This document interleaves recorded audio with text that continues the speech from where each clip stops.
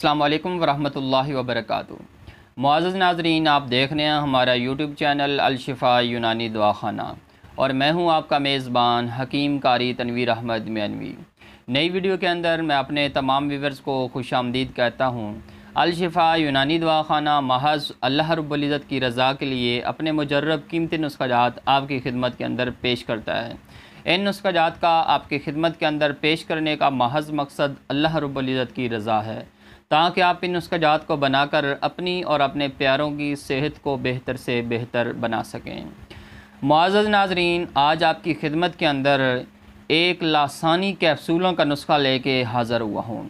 یہ آج کے کیپسول بنانے کا جو نسخہ ہے، یہ آپ بنا کے استعمال کریں گے تو انشاءاللہ انشاءاللہ کئی بیماریوں سے آپ کو چھٹکارا حاصل ہو جائے گا۔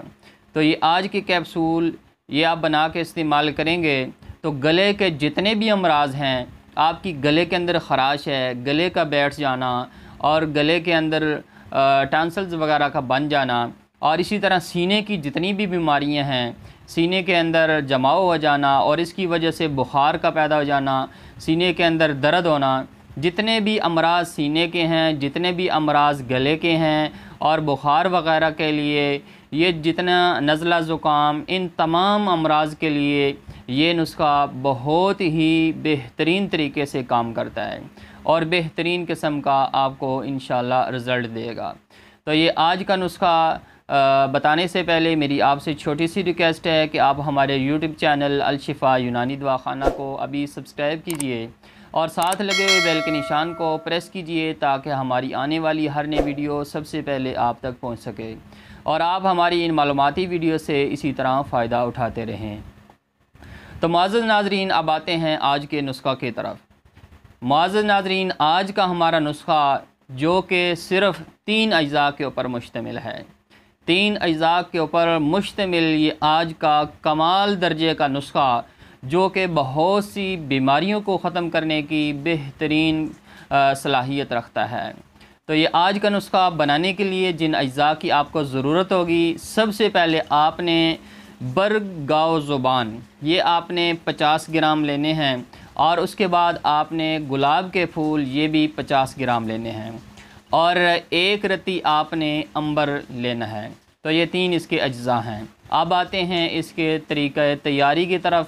آپ نے ان تینوں اجزاء سے یہ لاسینی کیپسول کس طرح بنانے ہیں؟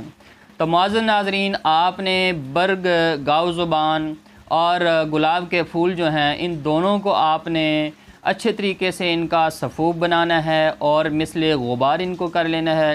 اس کے بعد آپ نے امبر کو اس کے اندر ڈال کے ان کو مثل سرما آپ نے بنا لینا ہے۔ تو پھر اس کے بعد جب یہ مثل سرما بن جائے، تو یہ آپ کے لاسانی کیپسول تیار ہو جائیں گے۔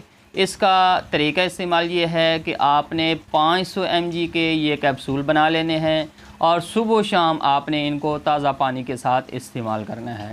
انشاءاللہ انشاءاللہ بہت ہی کمال کا نسخہ ثابت ہوگا اور یہ آپ جب بنا کے استعمال کریں گے تو دعائیں دینے پہ آپ مجبور ہو جائیں گے۔ گلے کے تمام امراض کے لیے، سینے کے تمام امراض کے لیے، نزلہ زکام کے لیے، بخار کے لیے، کھانسی کے لیے اور دردوں کے لیے، یہ ان تمام امراض کو بالکل ختم کرنے کی بھرپور طاقت اور صلاحیت رکھتا ہے۔ تو یہ نسخہ بہت ہی چھوٹا سا اور بہت ہی کمال کا ہے۔ اس کو بنائیں، فائدہ اٹھائیں۔ ہمیں اپنی خصوصی دعاؤں کے اندر یاد رکھیں، ہماری ان ویڈیوز کو لائک کریں، ان کو شیئر کریں اور کومنٹس کے اندر جا کے اپنی رائے دیجیے۔ اس کے ساتھ ہی اپنے میزبان حکیم کاری تنویر احمد مینوی کو اجازت دیجیے۔ اللہ حافظ۔